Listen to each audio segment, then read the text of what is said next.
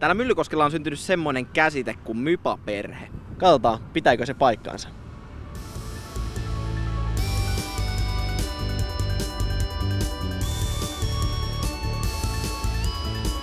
Mennään tuonne mansikakojulle, siellä on kuulemma hyvän näköinen tyttäri, mennään heti siltä, heti kärkeen kysymään siltä. Tää, mitä Mypa merkkaa sulle? No myllysää, en mä tiedä.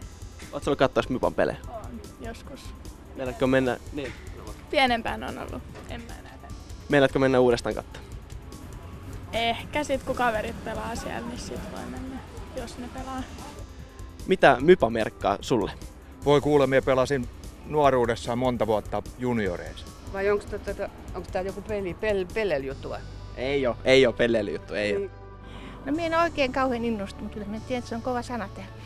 Meinaatko mennä katsoa Mypan pelejä? En ole koskaan käynyt. Meinaatko mennä? En tiedä vielä. Kysy, että no, no nättiä, kun puhut, ne on kaunista, niin että joka innostuisi. Mitä Mypa merkkaa sulle? No paljon. Poika pelaa joukkueessa ja itse joukkuejohtajana ja mies valmentaa. Eli Mypa perhe. Kyllä. Oletko käynyt katsoa paljon edustuksen pelejä? Kaikki paitsi sitä viimeistä. Miten mypa sun mielestä näkyy täällä paikkakunnalla? Kovasti näkyy joo. Ihan, ihan äh, missä vaan, niin aina kuulee puhuttavan mypasta ja, ja tuota, kyllä se näkyy kovasti. Se on iso juttu täällä. Ihan. Puhutaan ihan mypa-perheestä. On, on ihan, ihan tosissaan. Sen mä olen kun nähnyt, just sitä varten kun mä olen itse kiinnostunut, niin mä kuulen sen, että, että taas ne puhuu mypasta. Mm.